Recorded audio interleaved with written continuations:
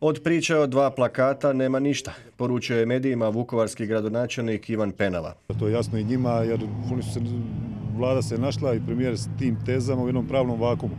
Da ne kažem sad kad bi bili paritet odnosa snaga jednak kakav je prema gradu Vukovaru i meni kao gradonačelniku i njima da bi sad gorilo u medijima šta je to zazivanje druge kolone ili nekakvih podjela ili tako dalje i tako dalje.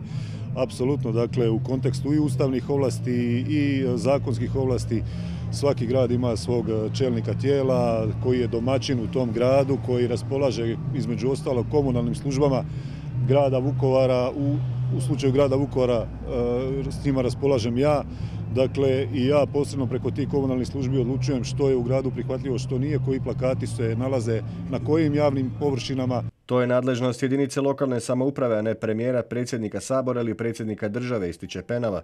Miješanje u to, kaže, ne pada na pamet nikome. Osim, evo, ministru branitelja i predsjedniku vlade na ovakav način, gospodinu Plenkoviću. Znači on to pod broj jedan ne može.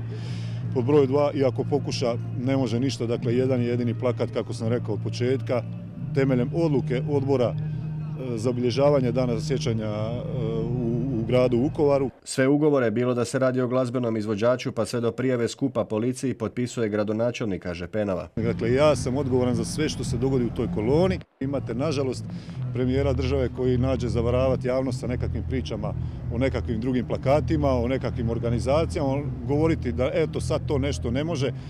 Pa evo, sve ove dane smo slušali kako nešto ne može, ja sam u miru, nakon što sam imao prvu tiskovnu, čekao da vidim kako to ne može. I sad ćemo vam lijepo pokazati, demonstrirati kao i svake godine da je ta kolona pripada Vukovaru. Pozvao je Penava 18. studenog premijera i predsjednika kao i sve građane na dolazak u kolonu kako bi dostojanstveno odali počast svim poginulim Vukovarcima. Građani kažu kako također žele jedinstvo za dan sjećanja.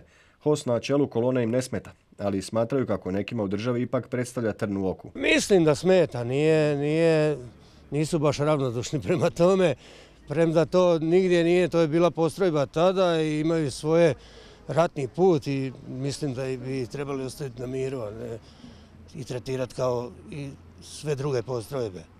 Niko ne, niko ne dolazi, ko dolazi ovdje pa da ustašuje, onda to je druga stvar, ali ovo je normalni ljudi koji su bili dali svoje živote i sve i sada ih maltretiraju nije u redu. Politika je to, to nema, sad jedni su za, jedni su protiv, jer ako neko sad komentira HOS i ako se okrene u drugi svjetski rat i odatle komentira, onda je problem.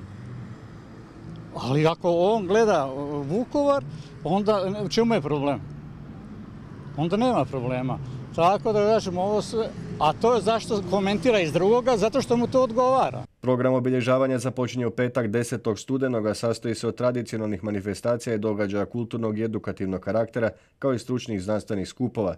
Središnji komemorativni program započinje 17. studenog u 19 sati u krugu Nacionalne memorialne bolnice dr. Juraj Njavro. 25. kolona sjećanja po sloganom Vukovar moj izbor i u dobru i u zlu započinje 18. studenog u 10 sati također u krugu bolnice.